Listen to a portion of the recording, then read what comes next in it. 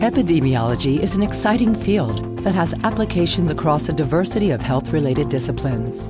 Giving your students a strong foundation in the basic concepts and methods of epidemiological science requires an engaging teaching approach that demonstrates the practical applications of epidemiology.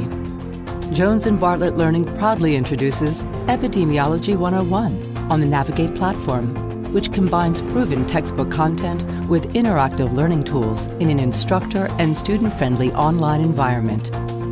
Designed as a complete teaching solution that caters to all learning styles, the platform includes online content reviews with audio that review critical topics in short, digestible chunks.